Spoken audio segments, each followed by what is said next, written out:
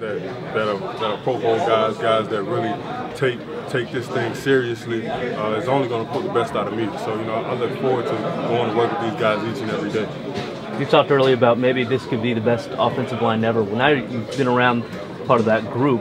What have you seen, Zack Martin? I see a lot of hard work. You know, guys that you know, there's, there's nothing need to be said. You know, each and every day you come out, you work hard, you get better, and everything else will take care of itself. Any of those guys say, "Hey, hey, tap the brakes here a little bit." It's day two. Day, you know, when you got here after making the comment. Uh-huh. Well, well, you know, not, not necessarily. You know, just guys. You know, that's really look, man. You know, we, we really believe in working hard here, and, and that's what we're gonna do. We're gonna move forward. I mean. Um, um, I feel that way deep down in my heart. You know, each and every day, I, I, I, that's my approach. That's the way I take the game. That's how serious I am about it. So, you know, each and every day, these guys remind me, remind everybody else that we're going out here and work and get better each and every day. Are you concentrating just on right tackle right now? Uh, well, I'm I'm focusing on you know definitely right tackle uh, predominant, but just being able to play multiple positions.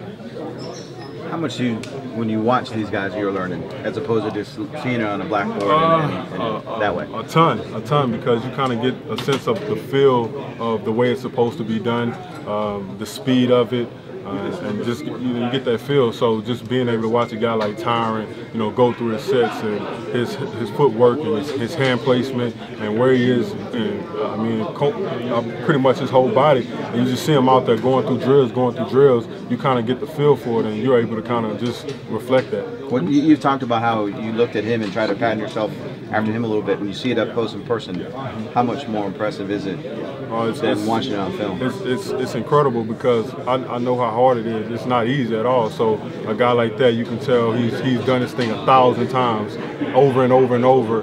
And I just feel like if I continue to, to work the same way that he's worked, the time that he's put in, and, and everybody on the offensive line, I think it's going to be it's going to help us out a whole lot breathing up Braxton, but how, how much are you in his ear uh, talking to him about the position? Oh, well, you know, he's constantly coaching me up. You know, he's behind me at all times, uh, just kind of just giving me little pointers here and there, uh, just, just kind of telling me where I, what I should be thinking, where my eyes should be, where my hands should be. So things like that, he's kind of coaching me up all throughout the day.